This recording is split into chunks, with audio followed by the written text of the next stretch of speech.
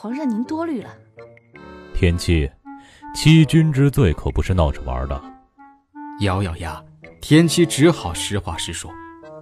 当然，要用一点春秋笔法隐去某些细节。季恒从他刻意美化之后的表述中，精确地总结了他干的好事儿：赌钱、打架。你整天都在干些什么？皇上，我整天做的主要就是尽心伺候您，其他都是打发时间。油嘴滑舌！把你打了的那个太监是谁？回皇上，是御马监的孙大力。孙大力是吗？打狗也要看主人。御前的人是谁都能打的吗？不过这个罪名不太好找。说赌博吧，他又没在皇宫赌。说打架吧，要罚就得罚双方；说是抽老千吧，也太扯了点儿。算了，以后再说吧。这次让这小变态吃点亏也好，不过挺好的一副皮相，留了疤就不好了。自己去御药房领点浴血升级膏，下次再干大架，朕绝不轻饶。奴才谢主隆恩，一定要抱紧皇上的大腿。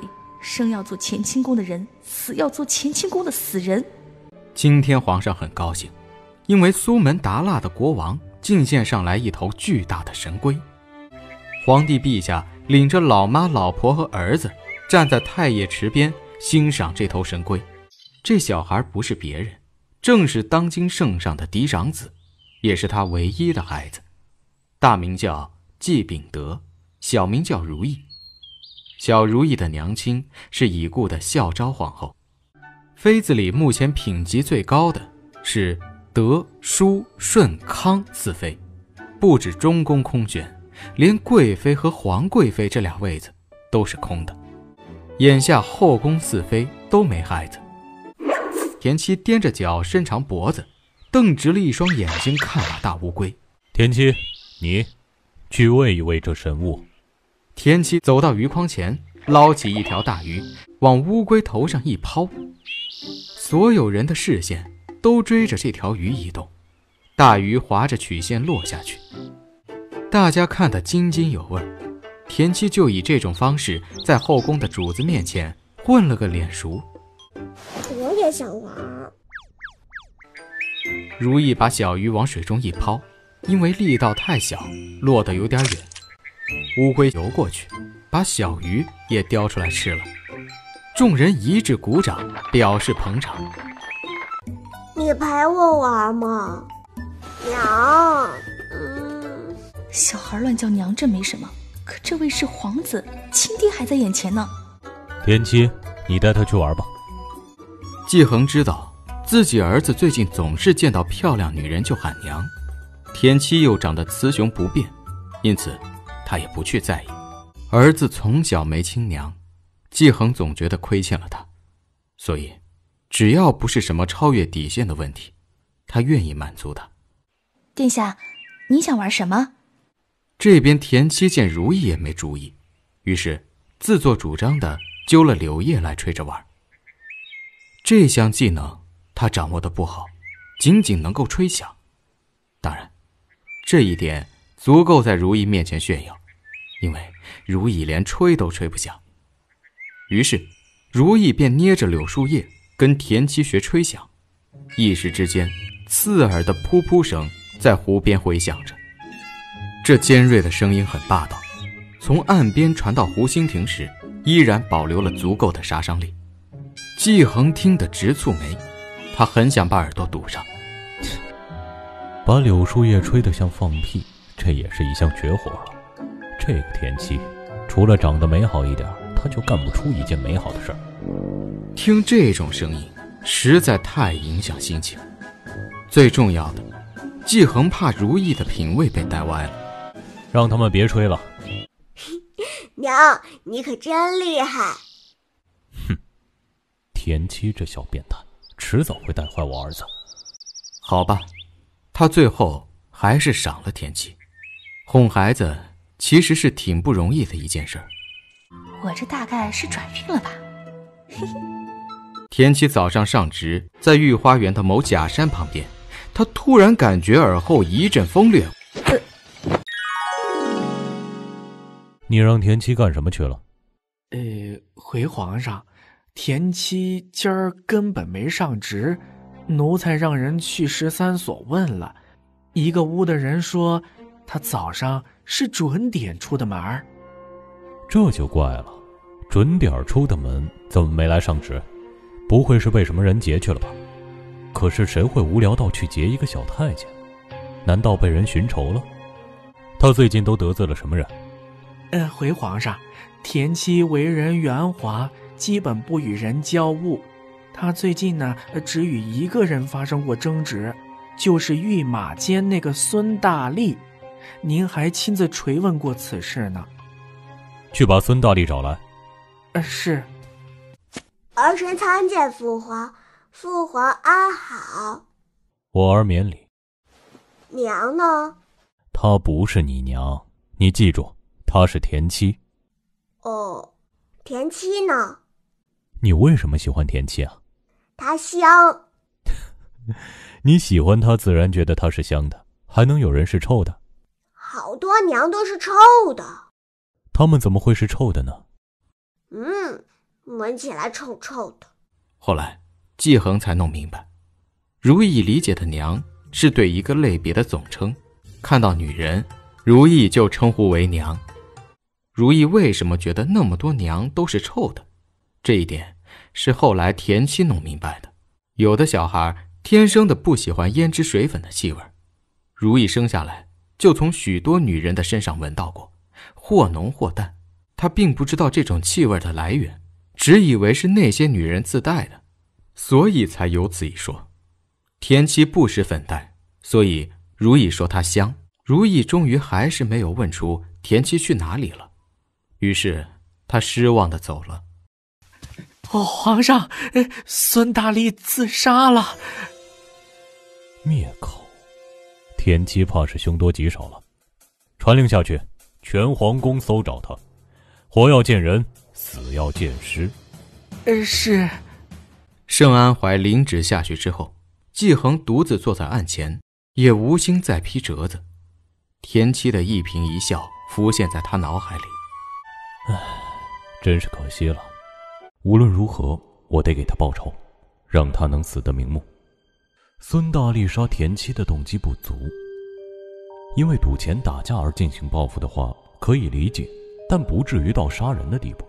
更何况是御前的人，杀人之后也不可能一点风声都没听到就先畏罪自杀。倘若他的胆子真的那么小，当初也就没有勇气杀人了。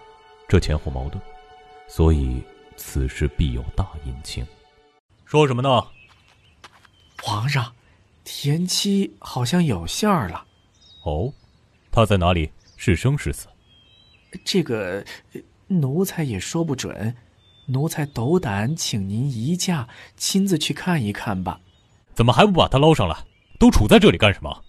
皇上，请息怒，他们，他们不敢。有何不敢？皇上，请仔细看，田七他正，他正被神龟驮着呢。季恒再定睛细看，只见田七确实高出水面一些，身下小山似的龟壳半隐在水中。乌龟就是乌龟，再大它也是乌龟，有什么好怕的？于是，他指挥人划了船过去，把田七运上岸来。田七身上透湿，手和脚都被麻绳绑结实了。季恒干脆抽出随身的匕首，直接把绳子割开。几个小太监又在田七胸口上按了按，挤出他呛进胸腔的水。田七吐了两口水，一条小泥鳅。以及一只小虾米，之后便剧烈的咳嗽起来。倒是命大，被人敲晕绑了手脚扔进太液池，这样都能活下来，简直的有如神助。哦不，不是神助，是神龟助。皇上很体贴的给了他三天假，让他赶紧滚回十三所歇着。不仅如此，他又弄了个太医过来给他看病。奇了怪了。太医院的太医是不是超员了？怎么总有时间为我这种小太监看病呢？如果太医一定要看，并且发现了我的脉象有问题，就得一口咬定是因为被切得太干净，脉象越来越像女人了。然而出乎他意料，太医并没有诊脉，而是扒拉着他的后脑看了一会儿，又问了他的感受。诶，不用看看脉象吗？嗯，不用啊。这位小公公伤的是脑子，脑是元神之府，把脉是把不出端倪的。方才你说头晕恶心，应是脑子受到重击之后的阻滞。啊，这样，我给你开个方子，吃两剂看看。这些天一定要好好休息，不能干活呀，不能再磕着碰着了啊。嗯嗯，孙大力不可能因为那点恩怨就杀人。更不可能杀人之后立刻畏罪自杀，一定是有人借了孙大力之手要来除掉我。可到底是谁要置我于死地呢？我好像也没有把谁得罪狠了吧？他娘的，这个人到底是谁呀？哎，你不是会医术吗？怎么不去考太医院？不是，你觉得我能行吗？这有什么不能的？太医院谁人都可以考，只要你医术够高明。我毕竟是罪人。又是个太监，我说你怎么那么不开窍呢？我跟你说啊，这做人得像水一样，得见到缝就能钻。你先考着，若是真能考上了，到时候十点前托人在主子面前说点好话，再往太医院打点好了，这事儿啊就八九不离十了。紫禁城又不是缺了你一个太监就过不了日子了。病假这两天无所事事，田七每天都往太液池跑，他要好好报答一下。他的救命恩归。他从膳房弄来好多鱼，田七还学摸了些别的吃食，肉的、素的、生的、熟的，一样来点。结论：这神龟最爱吃的不是鱼，而是动物的内脏。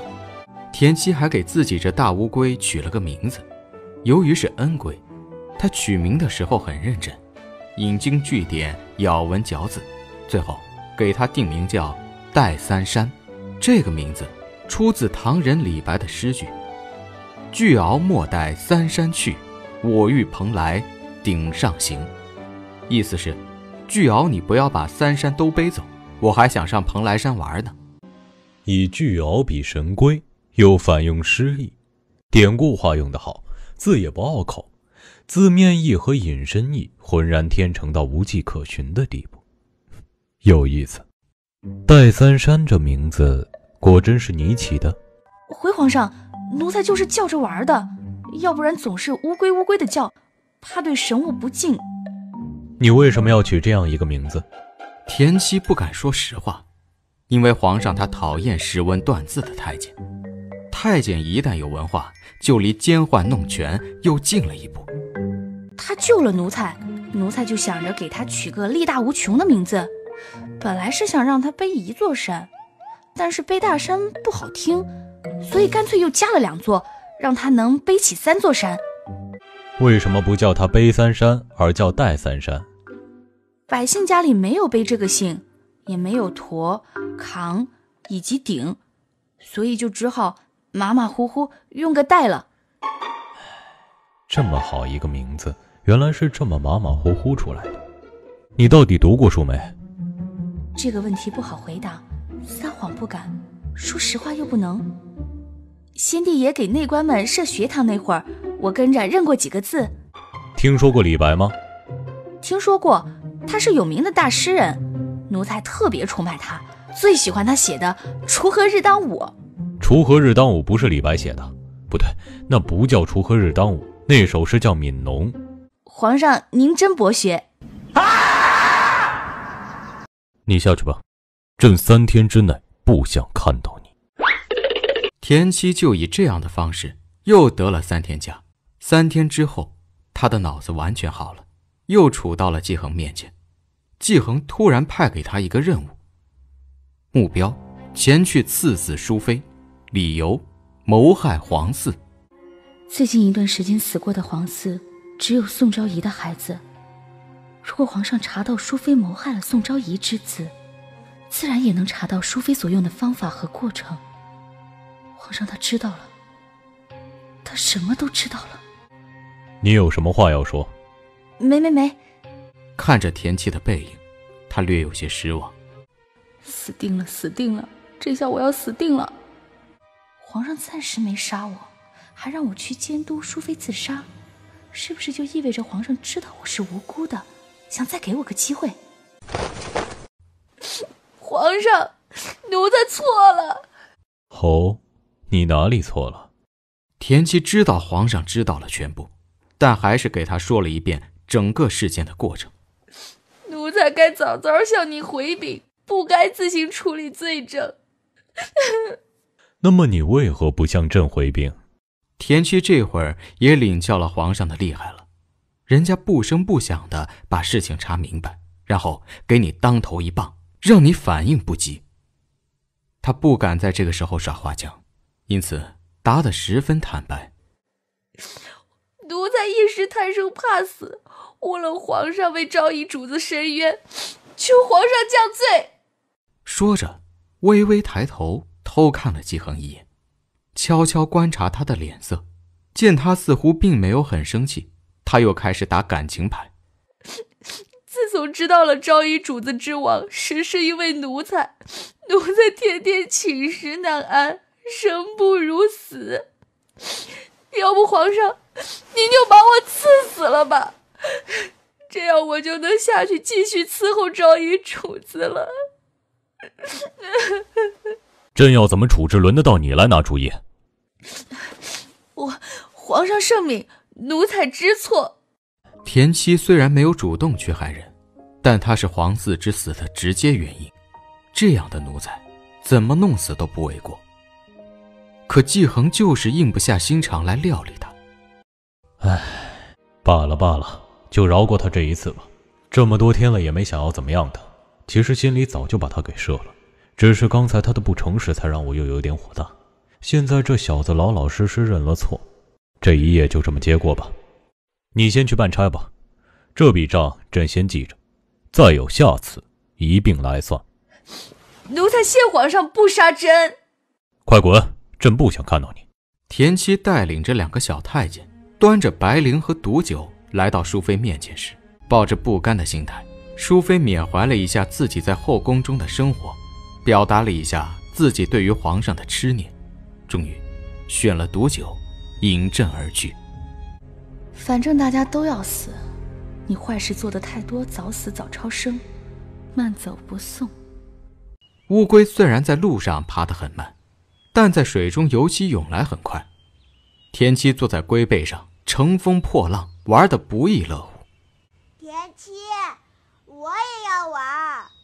没事没事，殿下不能下水，但是乌龟可以上岸呢。